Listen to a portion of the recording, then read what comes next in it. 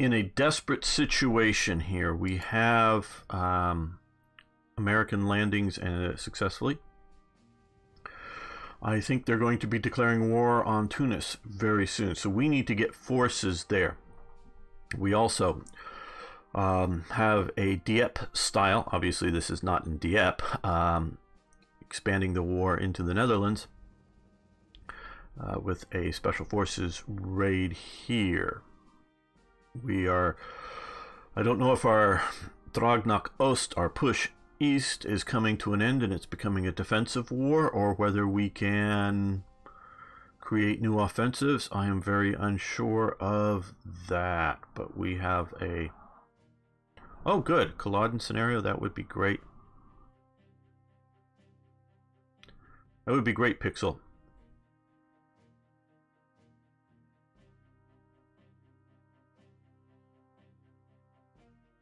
Cross of Iron map and encounters. Okay, I'll take a look at those sometime, Van Bishop. I haven't.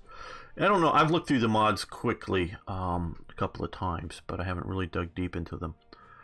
And um, I am happy to. I, I'm been having fun with this series, and obviously this isn't how is gamer going to conquer the world. This is how how is gamer fighting desperate battles, um, and I hope it uh, continues to be entertaining to you. But we may at some point start a new um, strategic command uh, series start over with using some mods that that's something of my idea if we decide to start over and that part of that's up to your your input. But also um, if you want to whether replacing strategic command or just playing other days because i'm always open to playing other days let Slitherine know what you want to see because obviously they want to sell games and what does players have interest in it in seeing and doing and learning about how um, they work? Uh, because various studies have shown that people watching somebody play makes them want to play that game more. So um, let let Slitherine know what what you want to see. And I like I said I'm happy to branch out into either different, you know, instead of this, or additional uh, stuff. So let them know, and because we we discuss a little bit. Um, I mean, it's up to them what game is played, but but we do do discuss, and they do ask for my input on things because and they're and they're very smart. They don't want me to play something I'm either not comfortable with, don't like, or you know whatever. So basically, um, anything I'm playing, I at least I I'm you know, at least likes it seemed like it's a good game that I'm having fun with. So I don't know much about the Great Northern War. The Seven Years' War is something I do know a, a bit about. Um, my sort of 18th century, because of studying the Jacobites, goes up to, um, you know, 1745, 46 era. And then I sort of start picking it up again looking at the American War of Independence through as sort of a continuation through to um, the Napoleonic Wars and how that all affects Europe, the fall of the French monarchy, um, how that all works together. So, um, the you know Seven Years' War, I've read a, a bunch of articles and things on it, but I'm not the deepestly immersed in it.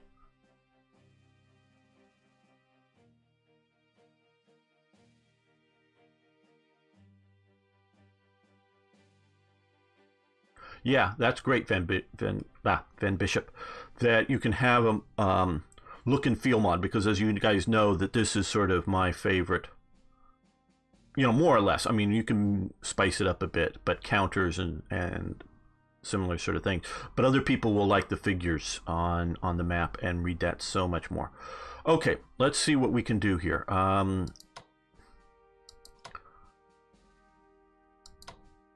I want to push here a little more. Okay, we can push up to there. We can push to there. We can push to here.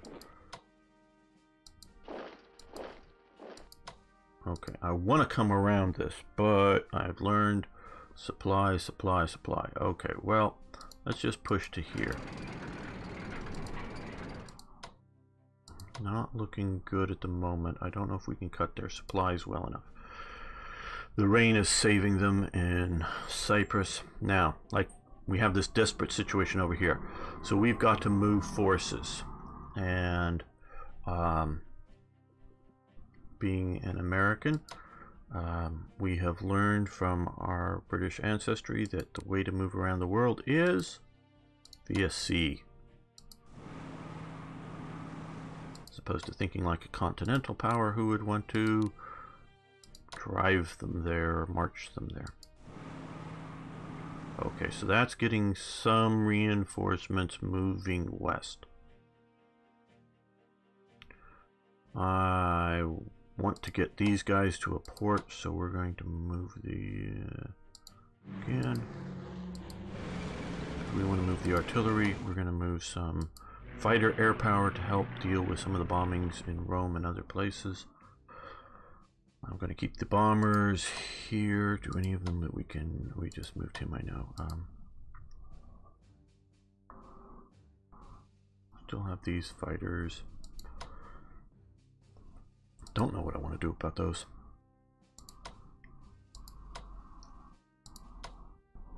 Oh, we can come down and take this. We can supply that way, so that will help with that.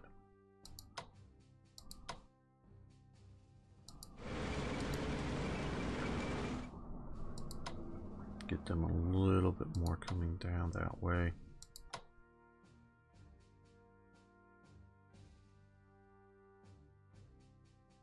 I'm going to push here and hopefully that, well, not cutting supplies as much as I'd hoped.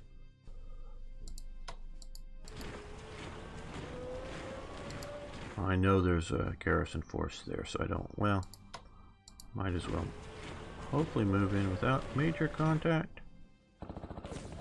Okay, good. Just wanted to put some pressure on that. Hi, Sko Kolosko. I'm sure I'm butchering that. No, not Thursday.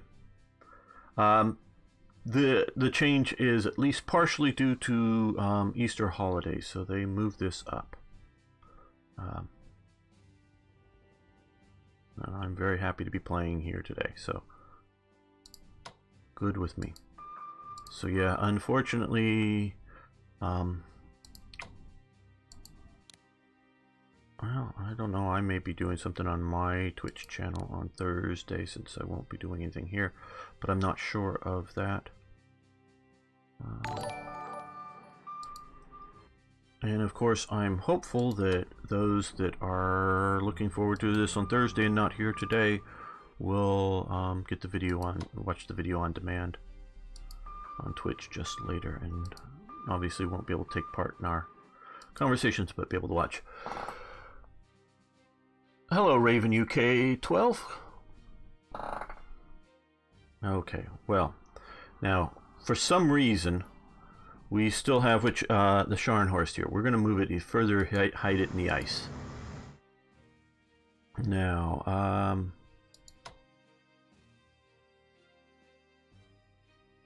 Hmm. I feel like being risky. What do you guys say? Should I attack the, with the submarine against the heavy cruisers? Give you guys a minute or so to respond to that. I'm, I'm not sure. I want to come after these guys, so let's... Well, hello, Soviet destroyers. Uh, okay. Risk away. No. Hmm, okay. Hello, Warrior Donut. You're crazy. Well, the reason I'm considering it is, generally speaking, historically, um, heavy cruisers did not have um, anti-submarine capabilities, where light cruisers generally had some but limited, and destroyers were the primary killers of submarines. Boom. Okay, we'll head you back, guess, to that port for the moment.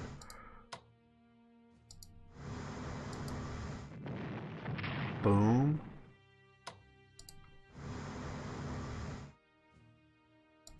Heavy cruiser. Let's see if you can get there and do that. Nope, not fully down. Okay, um, we'll move into battle cruiser.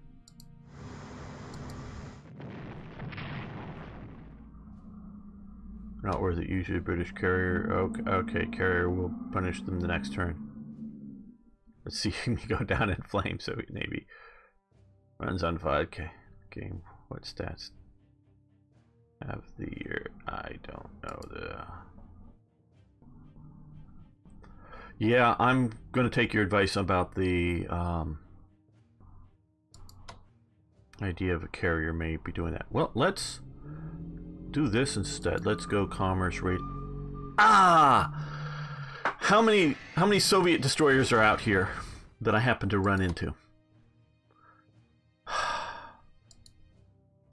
wow. Wow. Wow. Yeah, I got away lucky with that, but man, wow. That that didn't go as as hoped. Wanted to get out onto the um, lines without them seeing me.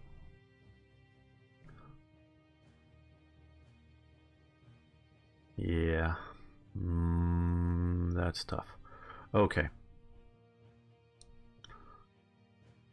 Let's move you down to the port so that we can get you on transports next turn. Now we have these guys to deal with. Since we're facing more and more possible invasions, I think we're going to, because this won't be a whole lot of points, but spend the points now. Maybe the AI won't ever invade Norway, and maybe this is a waste, but Okay, that's already up at five. We'll do that. We can always, if we th truly think we're not being invaded, we could see about pulling out the corps, replacing it if need be. Is there partisans probably showing up there if that goes away? Yeah, maybe. Um, we could always move in the garrison unit from down there, from Kristianstad. Up. Um,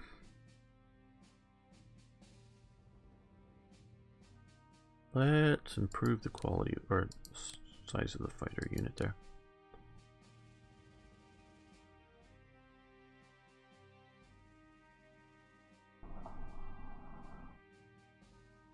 So now, well, we need to move him.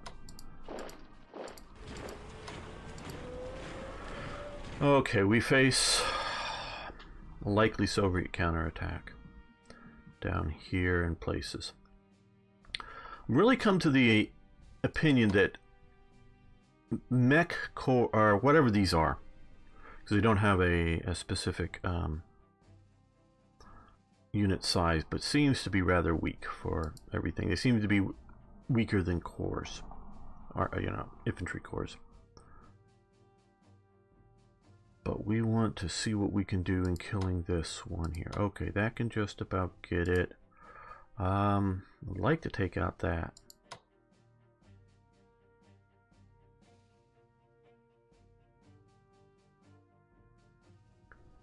Well, okay. Um,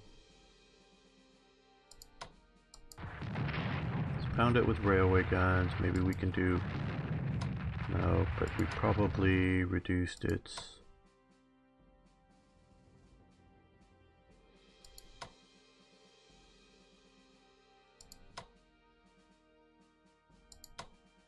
Okay, I want to take out that army.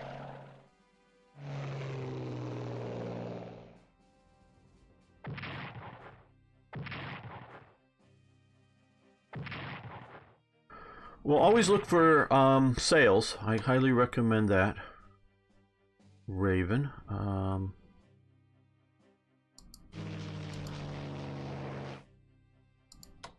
okay, that's now down at three. Possibly, I'm going to retreat you.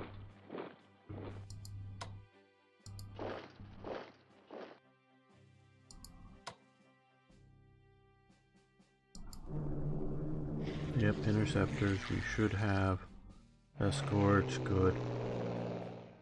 It will have effectively munch Well, not that badly. Actually, we got hurt worse. Ouch. And... Okay, that was effective. Okay. Mm, one for one would have been worth it. That wasn't so good.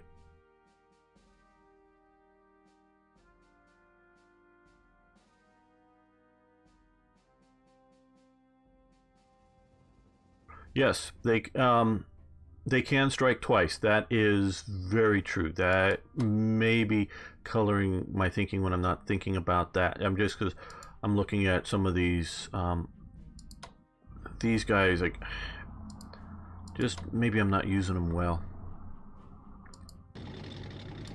Ooh, there we go. Boom. One, two, Rostov gone. Mm, infrastructure's torn up too much. Well, I'm not going to leave him out here. Oh, um, so we're going to withdraw him.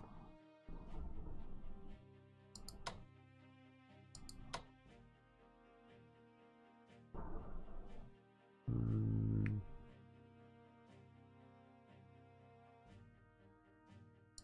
Yeah, I think to just there.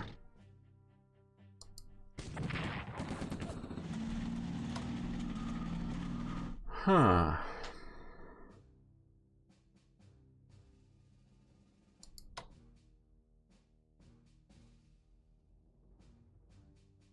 Really wanted that dead. I don't like that it retreated out.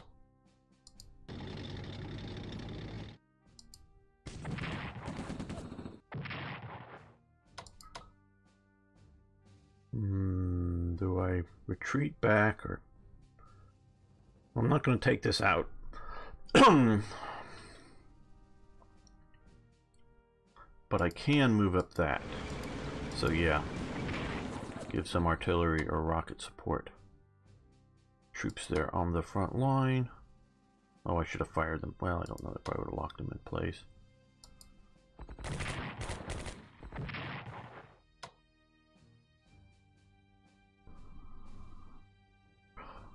Yeah, um, comparing the two, uh, between uh, Strategic Command World at War and, and Strategic Command War in Europe, if you want to play Germany, or if you just want to focus on Europe and you don't really care about um, or want to manage uh, all that's going on out in China, which is a big thing to manage, just in China as well as the Pacific War. I think, I believe from playing excuse me, both, that War in Europe is a better game. If you want to either, if you're mainly playing as Germany or you just want to focus on Europe, because maybe you know you want to play as the Soviet Union, where you have to play the, all the allies, but you want to focus on this, get the War in Europe. That does the war in Europe and you know the sort of region around it better than this. But if you want to play the whole world, obviously this is doing better than the war in Europe. So um, if we were just going to play, you know, focusing on Germany, I would rather be playing the war in Europe version. So keep that in mind.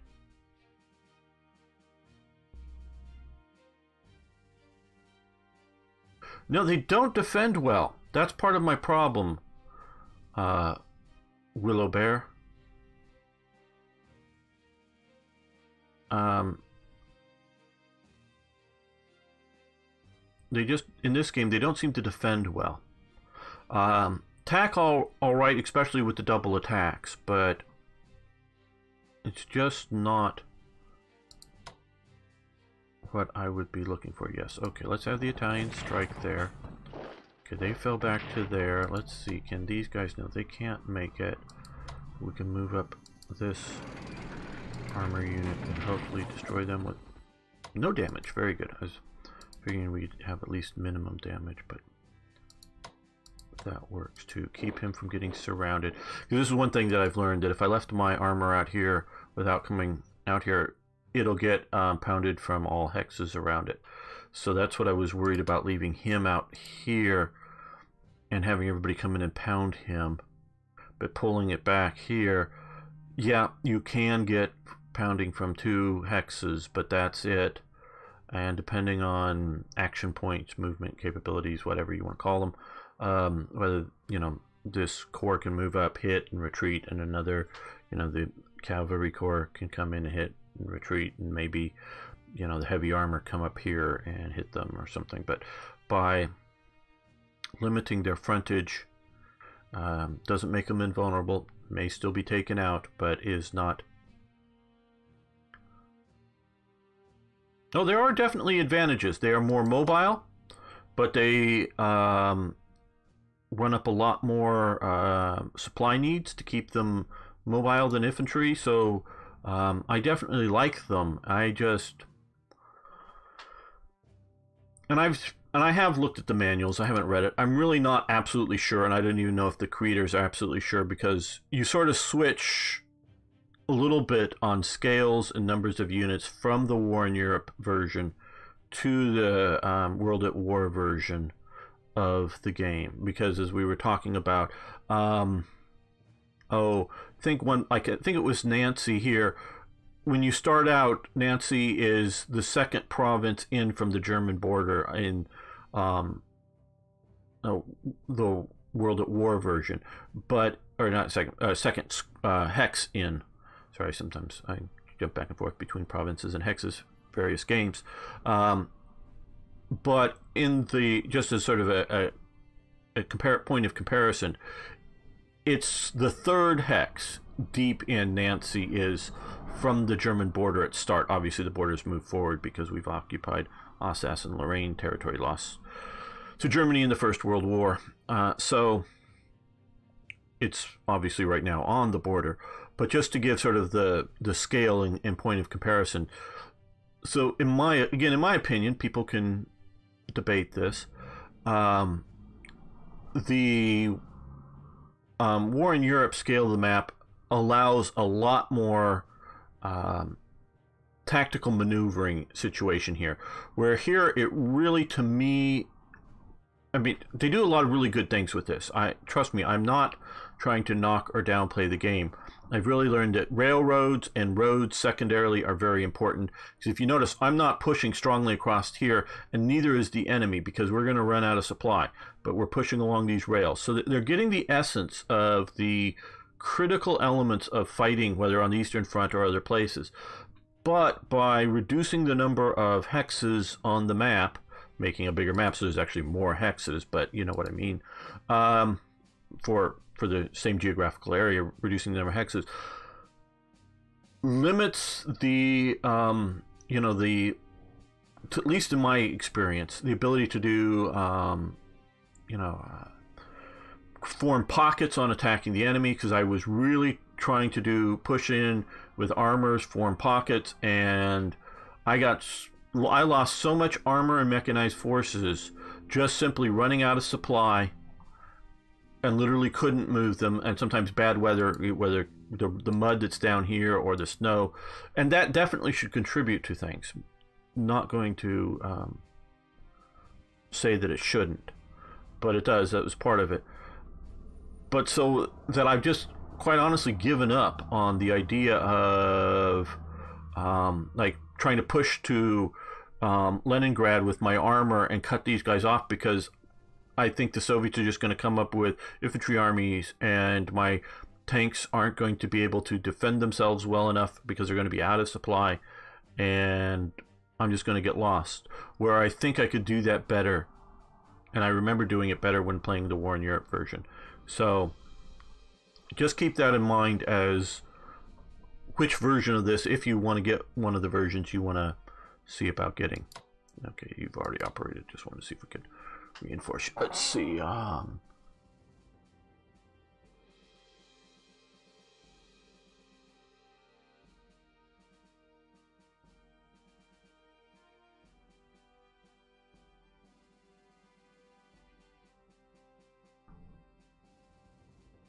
yeah, I I can't really recommend. I can't because uh, I don't know the pricing on the bundles. So I um, go with what some of the other people are saying, and you know, read and fig figure this out.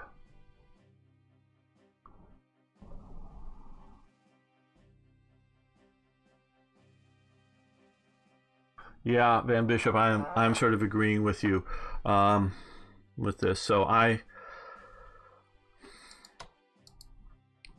I just don't see them as being as useful as I would like because what I want to do is, you know, if this was the beginning of the turn and here's the units, I want to move these guys in and surround these units and I think I'm is more in danger from lack of supply um, before they will starve, even though I have what I would consider um, a continuous line of, you know, control and supply, and maybe not enough supply in the sense of being able to then you know, um, start another offensive, you know, enough extra fuel and ammunition to go on the offensive again. But I feel that I'm going to um, die just defending myself if I create pockets in this. That's sort of how I'm feeling with this right now. And, um, okay, here. Um, yeah, we'll just hit that. Weaken that somewhat. But I don't want to move this guy up. I'm going to move him to the road to get better.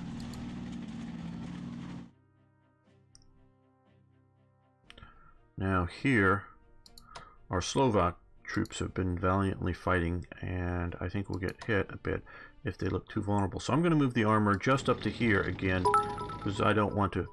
Hey, Frere Oakenshield, good to see you. Um, don't want to get them too isolated out into the front. Because I just think, you know, they're really good at limited attacks. And we will do some of that right up in here and right now. Okay.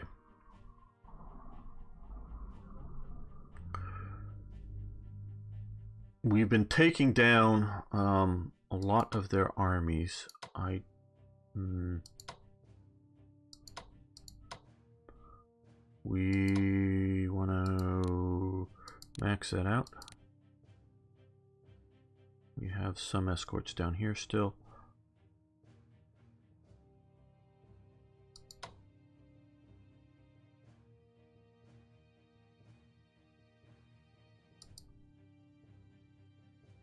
Okay, these guys are going to fall back to here.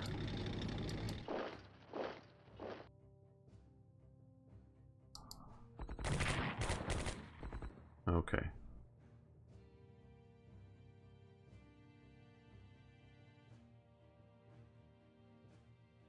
Thanks, Pixel.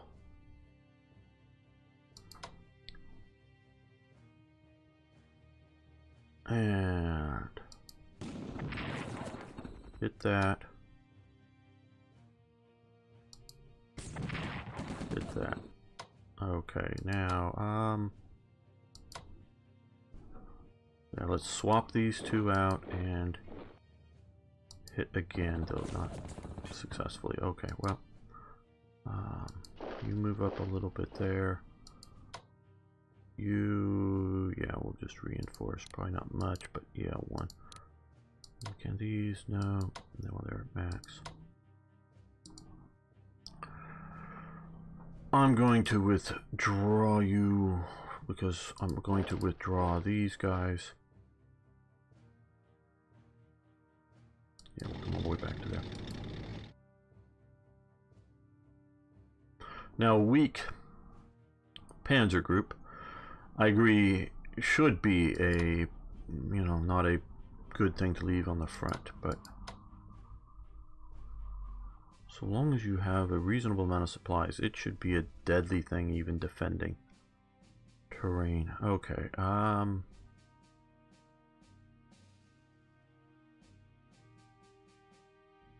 Right. Well, we've done some serious damage to them. But no, we're not, you know, pushing to uh, Stalingrad or we're not taking Moscow. And part of that is we're going to come over here. Obviously, we can't do anything with that this turn, but we can sort of deal with. We have one army and some Hungarian air coming, but let's see. We're going to go with 300 points. Looking, yeah, special forces, engineers, rockets. What's available that we can still, we'll purchase that, and we're going to go with another one. Um, so we've got, we're going to have three armies coming for Germany. Italy, what can we do with Italy here? Um, we now have saved up enough points to really build something. Heavy tanks, heavy tanks. Uh, oh, those are fighters. Um, 300. That would only leave us 18 points. Fighters, advance, 275. Hmm. I'm afraid to ask you what I should do because maybe you're going to give me advice of what to, to best burn me down. Hmm.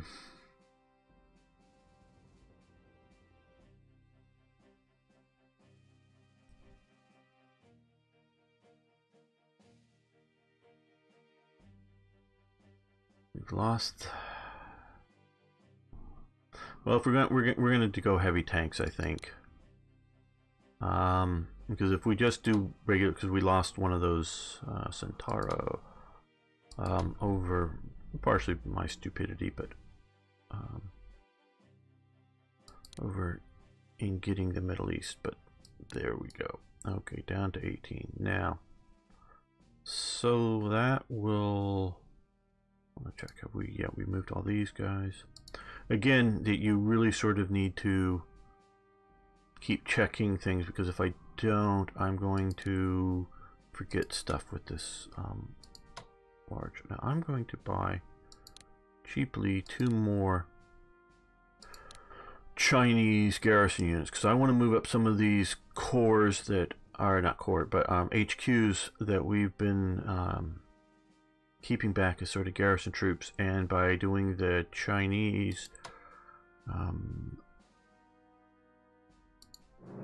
units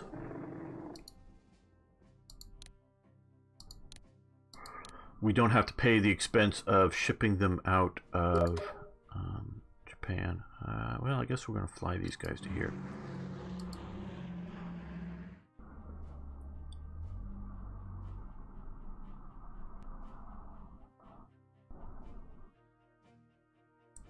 So now down here, um,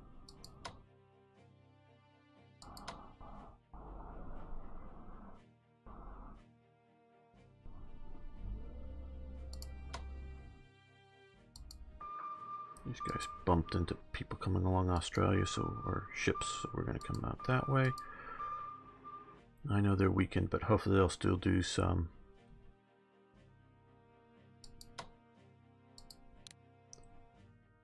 Yeah, we're spending a lot, but we're gonna. Oh, can these guys? Yeah, these guys can come here. Increase our strength down here.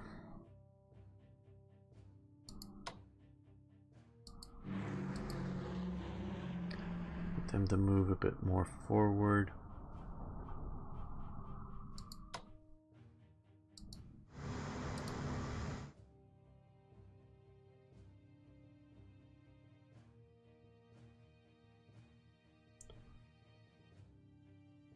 Hmm, I don't know. I think we this is impassable and basically was at the time for any major shipping.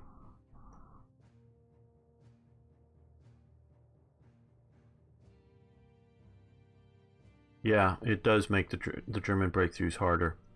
Because basically it really does come down to a um, slugging matches between armies.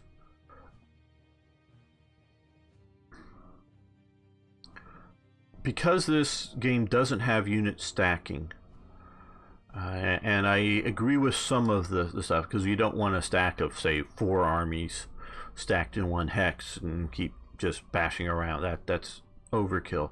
But because you can't stack, say, two corps um, units, which is sort of like an army, um, in one hex to you know be a more solid either attack or defense, the ideas of, of an army unit here are very good.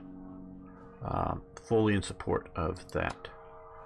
It's when it comes down to the idea that if your whole front line is just going to be made up of armies that you're trying to slowly World War One style push your way through the front, it loses a bit of its the, of the real finesse of, of the Second World War.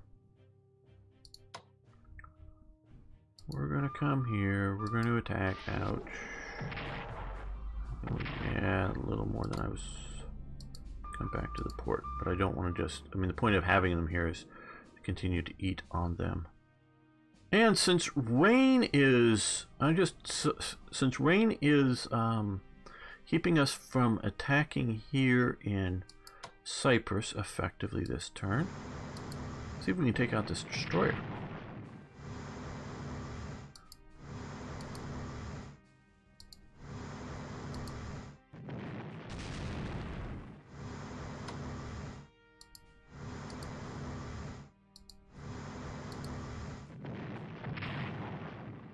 There we go.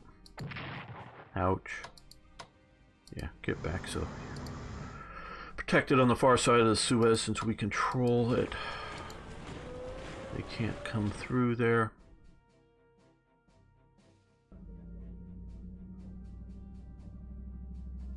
Oh yes, um, for those who aren't used to reading this, and I know it can be a bit hard for some, is the um, models maybe um, doesn't affect um, any of the gameplay elements. It's just purely, you know, human recognition, eye candy, as it were. Um, what you want to see and like and read as you will the best. Okay. Well, we spent a lot of our uh, MPP. We've pushed on that. Let's see, is there anything left that we want to try to... Yeah, a little bit here. Um... Okay. Northern China may be a bit of a mistake for lack of supplies again, but I don't want to give up on...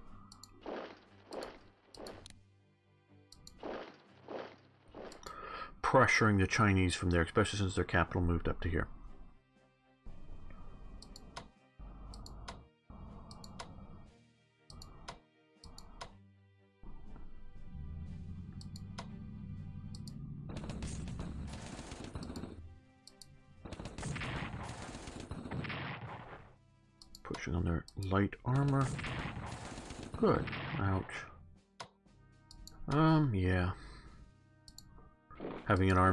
Be better defensive from those, and good.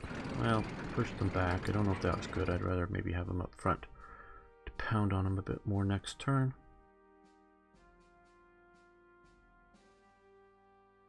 Yeah, these guys have already attacked. too low to really move some of those guys out. And MPP. Um, hmm.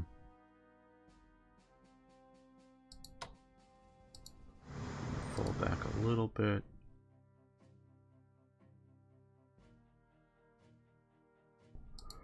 And I think I'm going to come back here to hopefully reinforce that with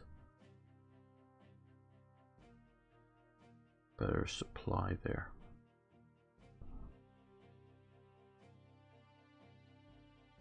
Okay, that looks good. I think we are ready to see what sort of damage they can do to us.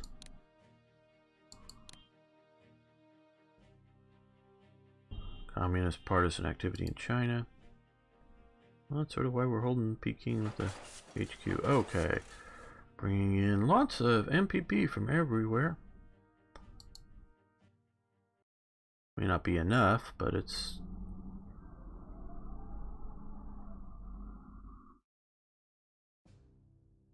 Something.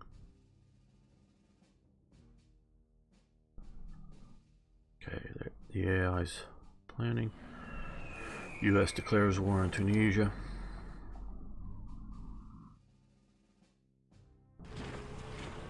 And they're moving up uh, British HQ. They're reoccupying Rostov. Oh, good. They moved the light armor back into the trap.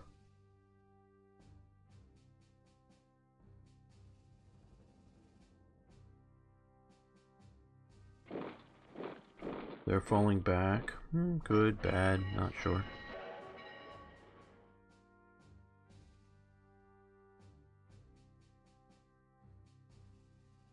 Yeah, dive, dive, dive, dive, dive. Oh, no. Neither happened.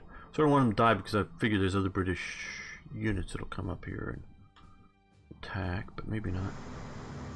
Hello, destroyers. What are you doing shore bombarding? Destroyers, really? Okay, carriers. Now that I understand, especially there's going to be an invasion soon here. Um, okay, interceptors. Good thing we're, we're getting more out here. Escorts.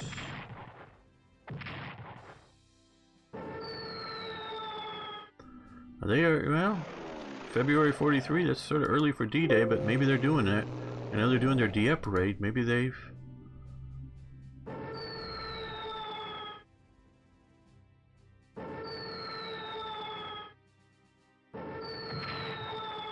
They're going after this garrison.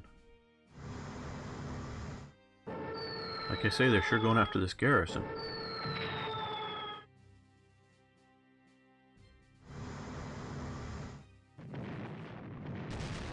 Wow, this is interesting. Well, going after the destroyers in port. Only reason they're still sort of there. Battle cruisers coming after the destroyers in port. We're getting munched.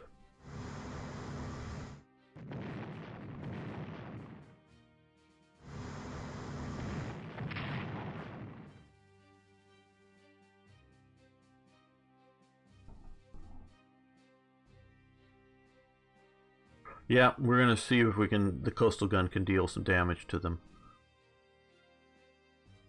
Someone told me, don't know if it was on a live stream or commenting on one of my videos for this game, that the AI isn't very aggressive. Huh? This is looking aggressive to me. Well, maybe not as aggressive as a human player would be, but... All that stuff down in the channel, particularly. Okay, yeah, well, that's why we kept some interceptors over here, because I knew they had some aircraft.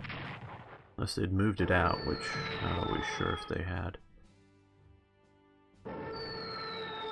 Oh good, a unit just strong enough to, to shatter when first bombed. Okay, interceptors, good. Escorts, yeah.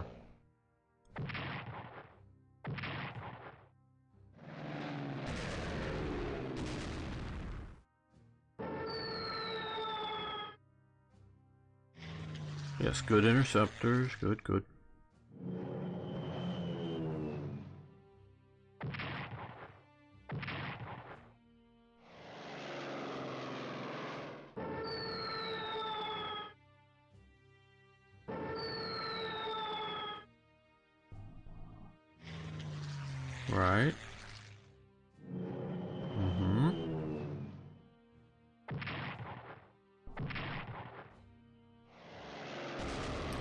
Like to get the reports of the damage it's doing during the AI's turn for the air battles. Maybe I wouldn't like it because it wouldn't be good good results, but I'm still curious to see what what the results are.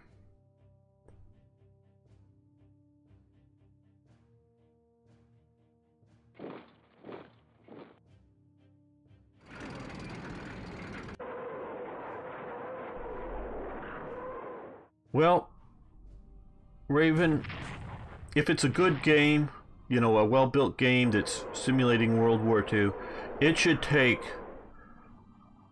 it really unless you're going to play it on some super easy level, it should take a few playthroughs to really ouch to really learn the game. You know, it takes me that to learn to learn um, the game because you're watching the first playthrough I've made of the World at War, war version uh, of this game. And I played the uh, War in Europe version a bunch before this. So, you know, don't don't get discouraged if you, you know, need to make a few restarts and learn from your mistakes. There's a bunch of YouTubers, including myself, that you can look back and see earlier episodes of of this game. You know, um, you know, invading Poland or invading France or whatever. Oh hell, hell no, hell no! Look at what that got. Oh God, oh, oh, uh, uh, what the? Do you guys see that? Just took out Hamburg? Marched around a mechanized corps that didn't have a zone of control to do that? What the? Uh.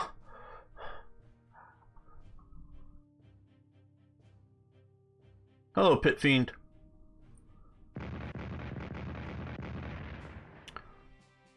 I'm having a heart attack over here that Hamburg just fell.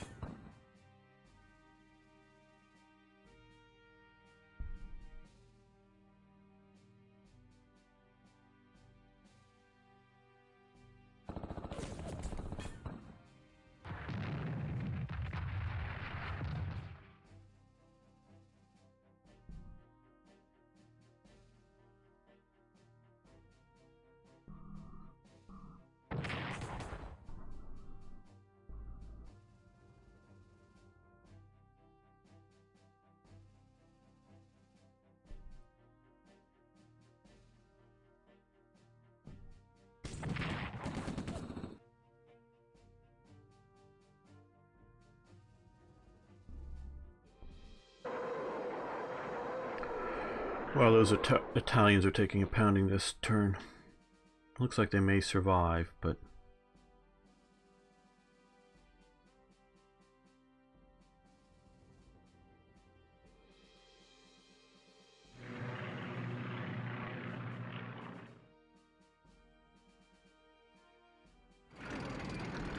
Yep, expected the American armor is pushing down through Tunisia.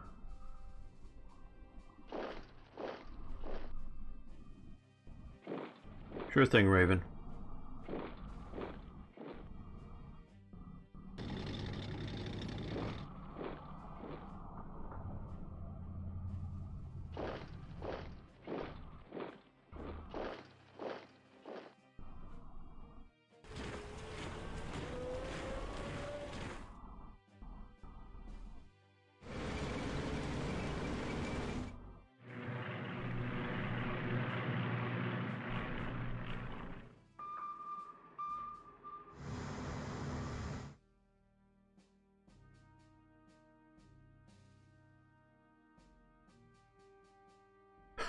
Sterling Steve, yeah.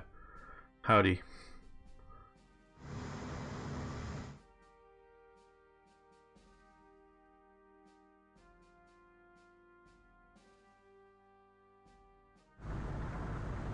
Uh-oh, uh-oh, uh, assault transport.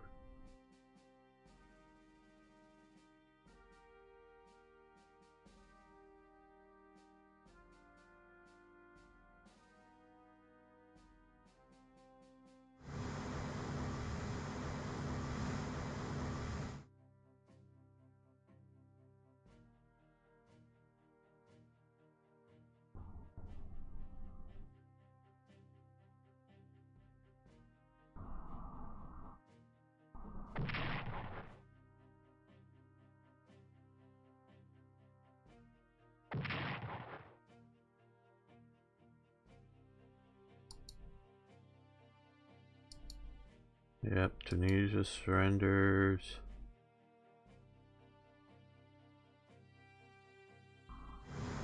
Okay, you're blockading Port Bordeaux. Not that we would matters overly much.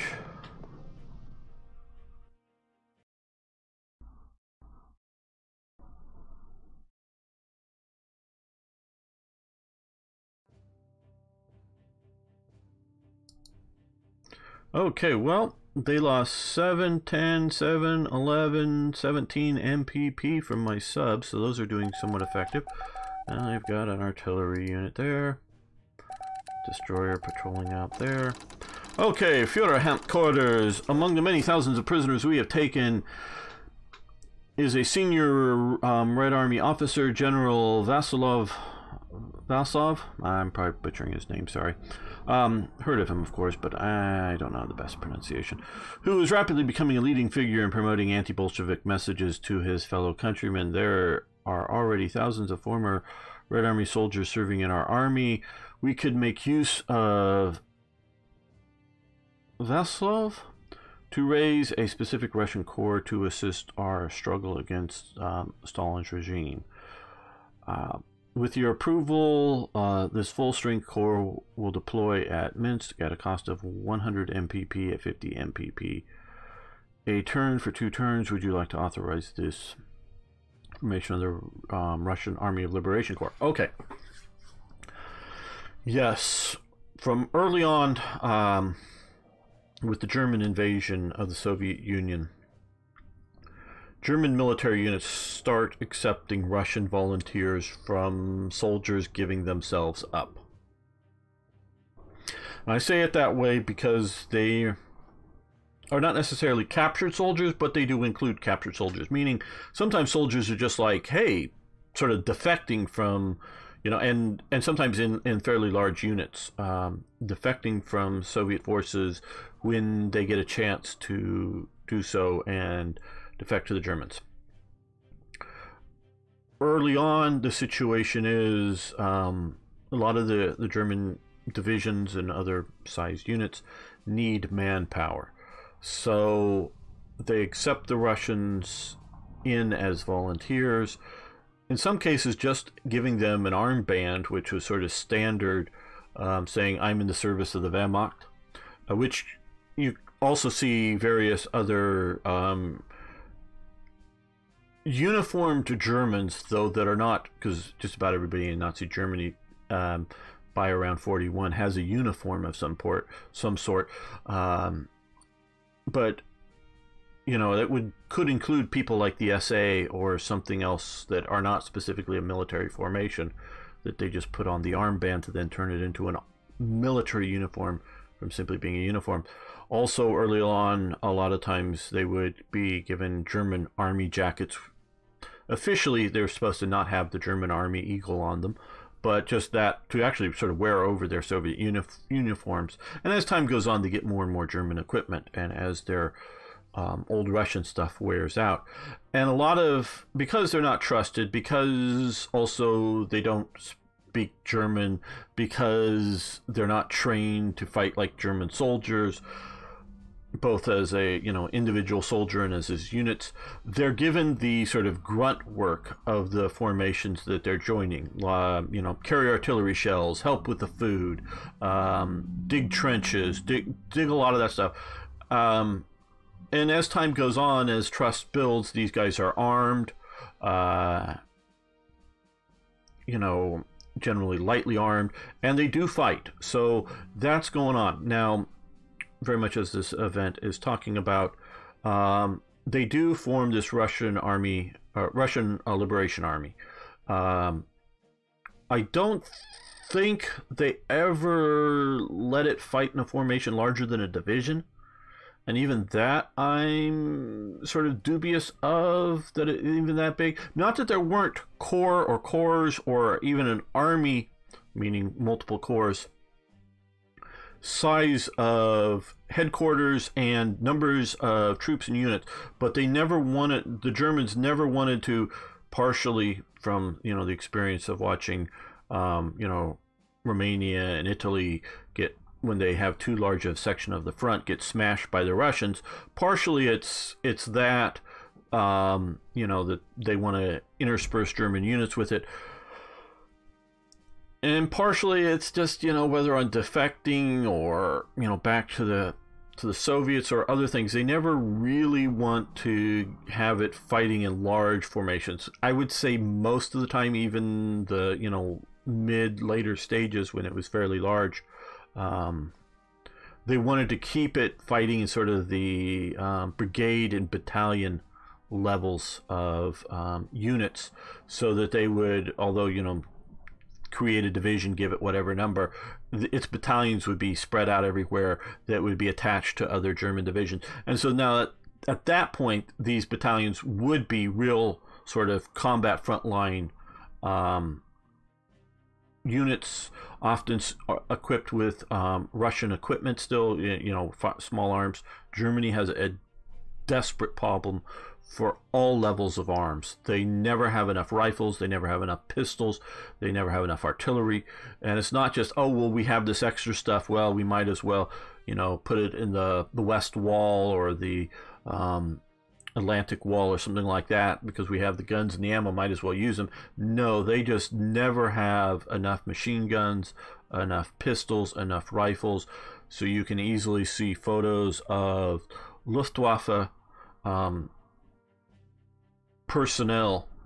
I'm trying to say it that way because there's also Luftwaffe divisions that are given really nice German equipment. But German uh, Luftwaffe um, personnel um, taking a break out in some sort of field there, and all their arms are, you know, uh, rifles are stacked in, you know, the sort of triangle style, you know, multi gun stacked up there, and they're all Mosin-Nagant rifles. And so this I don't know what type of Luftwaffe unit, whether it's a airbase security unit or ground crew, but because they're on the Eastern Front, they're all issued rifles just because things happen on the Eastern Front. So, but these German Luft, German Luftwaffe personnel, they're given Russian rifles and which need Russian ammunition because Germany just does not have enough Mauser 98Ks. Uh, so when you're starting to equip um, dubious foreign units, they're definitely getting that type of thing as well. So yeah, we'll take it. Okay. As you can see here, that guy you can see from his collar band is a um, a Russian. Oh, went away. Sorry. Um, but he does have a German eagle on his breast. Some units did, some didn't. So we have that. Okay, good. Well, um, I guess we can move. Mm, mm, mm. Well, what I was going to say when I was also looking at that, that photo, you saw one of the guys that have the patch on it, and it's it's in Cyrillic, but it sort of kind of looks like POA, and it stands for Russian Liberation Army. Well, when because again worrying about defection and other things, quality of troops, they often use these guys as security troops. And some of them were stationed out on the Channel Islands, and the British occupied British people there called them because of that pals of Adolf. Ah, uh, three days. Okay, back between York and our place. Vassal start. Yes. Um, hopeful temp. We're not running out of military equipment. Try not to be at war with the entire world. Very good, Steve Sterling. That is a good thing.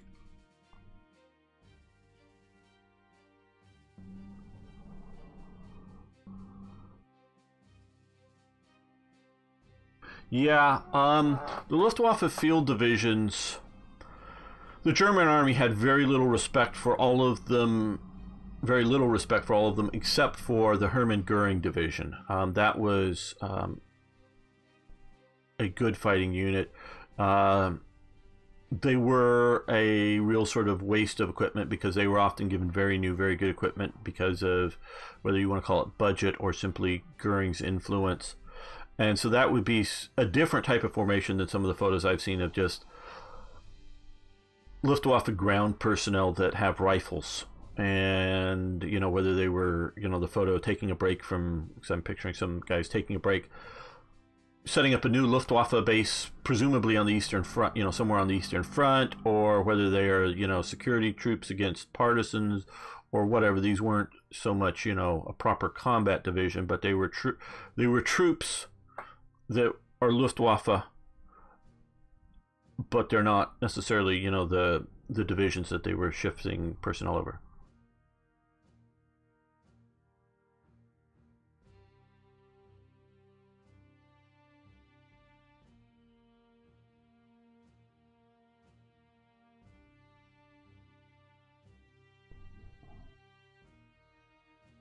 Right, yeah. Well, Stalin goes on to disown his own son. Okay, well, you see, this is now, I don't know because we talked earlier about the ability to attack twice with this mech corps, but I've got a mech corps here that's going to lose to a, a special forces corps. so I'm going to retake that so I'm not out of supply. And so we're going to move him.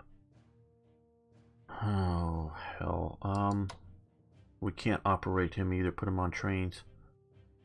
Okay, well, we'll keep him on the railways. Maybe we'll do that. This is... This is not good. This is not good.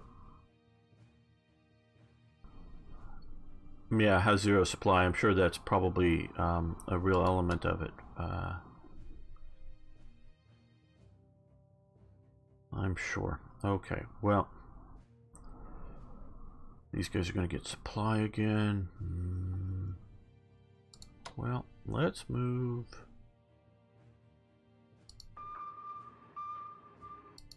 You there. Let's come...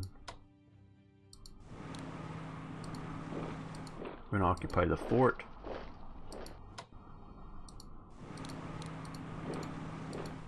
We're going to come there. These guys get on board your transports. And yes, they can make it. Get off. Okay, well, we've, in a limited fashion, stabilized the... How bad is that supply? Didn't even look. Okay, zero right now, but next turn. Okay, four, two. That's good. So that should hopefully keep keep that somewhat stable there until we can get more down. Okay, well let's move back so hopefully they won't be hit there. We can get the mechanized corps there. Mm, okay. Okay, well let's go for some happy good news. Well, we've re-liberated all Italian territory that's, you know, effective. Um, okay, yes, I knew they would be there.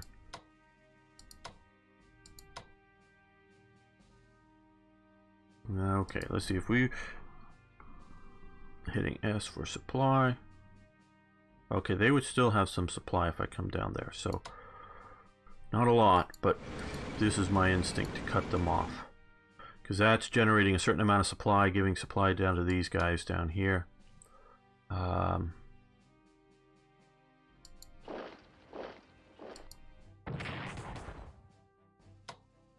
okay, well.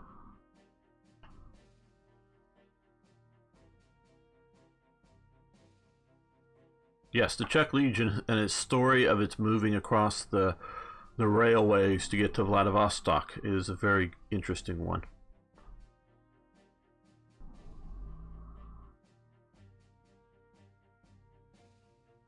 Oh yes. Well, now compared to the um, Russian Liberation Army, one the the Czech Legion obviously didn't have to liberate Czechoslovakia. It was just fighting for its survival along, you know, the railways uh, here, moving east and also all the people that fought, mostly the Reds, but um, various elements, knew that the Czech Legion, eh, there was no, you know, great desire to destroy it in the sense that um, it was essentially on its way out. Now, it was partially by um, Churchill at times encouraged and did uh, strike against the various Red Army units as it was moving its way across, but it actually earlier had done a deal with um, the Reds to um, get some equipment and start moving east, uh, realizing that if the the Soviet government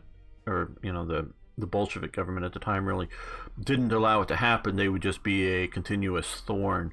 So as they moved east, they did sort of strike at various red elements. Some of their elements got trapped at times, and they would then move back along the railway and you know relink up with their forces and keep moving and keep going back there. So, so I'm sure when they're attacking, you know, some red element, those red elements were going to fight to survive. Um, no doubt about that, and fight well.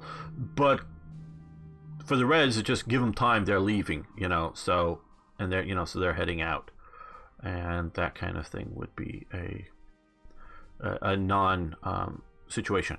Compared to the Russian Liberation Army, which is trying to liberate the Soviet Union, and they have to you know they weren't an ethnic liberation element other than simply Russian, and the Soviets aren't going to allow the existence of a Russian, you know, force. You might theoretically, you know, if the war ends in a different state, allow a, you know, Baltic states or something else, because the existence of a Baltic state doesn't mean that um, it's a, you know, a, an opposite situation of the Soviet Union, where if you have a Russia and a, and a you know, a, a a, uh, a Soviet Russia and a non-Soviet Russia, whatever the non-Soviet Russia would be. I'm not saying it would be a democracy, but whatever it would be would be a, a counterpoint that Stalin and crew couldn't allow to exist.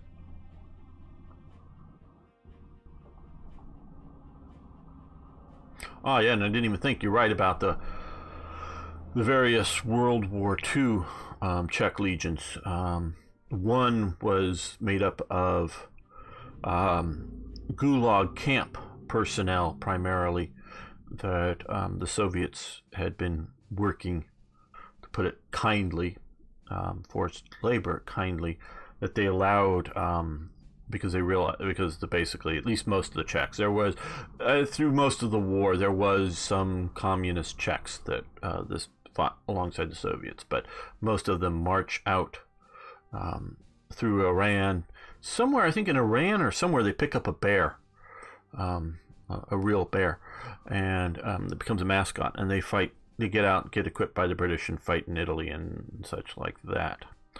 But they too end up as sort of a um, lost cause because the Soviets occupy Czechoslovakia.